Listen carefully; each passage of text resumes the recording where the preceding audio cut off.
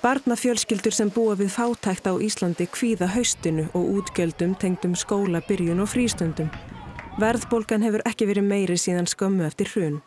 Einstæðar mæður á örorkulífæri óttast það í hverju mánuði að þær ná ekki endum saman og segja tekjurnar duga skamt. Ég finn fyrir einmitt kvíða fyrir þú veist, öllu sem fylgir bara badni.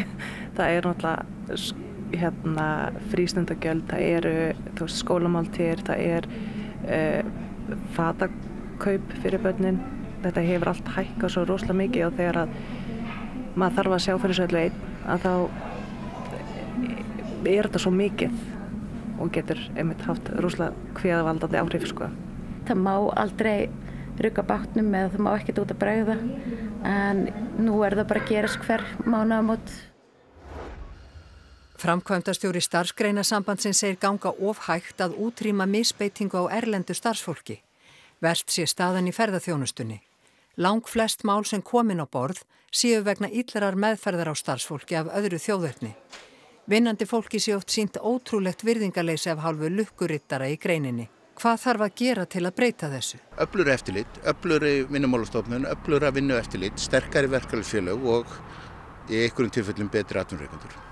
Er fólk að koma til ykkar sem að segja ljótasögur? Afar, afar vondarsögur og, og, og um mannsal, um vinnuþrælkun og um alveg ótrúlega hluti og, og við höfum svo sem verið að taka það saman eins og allþjóðsambandi og fleiri og starfsgrænsambandi í skýslum undarförnum árum og okkur finnst það ganga of hægt að útrýma slíku íslensku unnumverki. Hittametur er skráð nánast á hverjum degi og þúsundir slökkulismanna berjast við skóarelda á Spáni, í Portugal, Fraklandi og á Víðar í hittabilginu sem lagst hefur yfir suðvestur hluta Evrópu. Ríki í álfunni búa sig undir snarhækkandi hittastig þar á meðal Bretland, þar sem búist við alltaf 40 stig að hitta í næstu viku.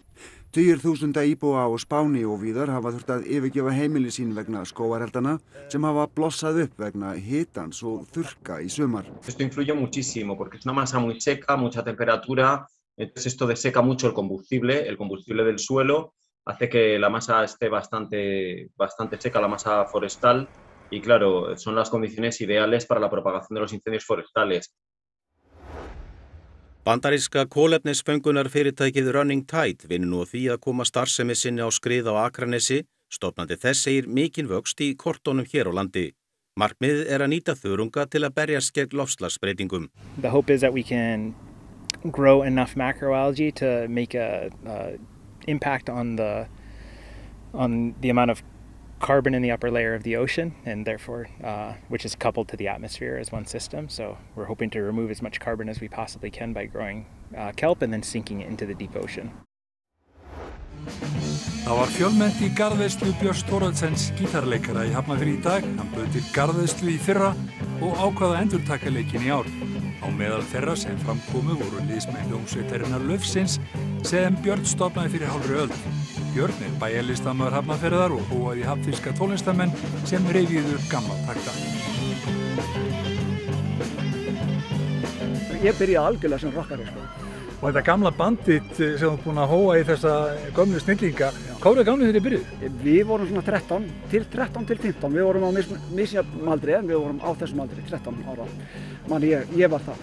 En þessi, þessi, þetta garðparti, eh, hvers vegna? Bara, mér finnst bara gaman að geta gefið eitthvað tilbaka líka bara, bara til hafnarferðar. Þetta er, já hæ, hæ og hérna bara, já, ég er bæjarleistamæður og þannig að þetta er geggja fyrir mig að vera það og þess þess að maður að gefa pínlítið tilbaka.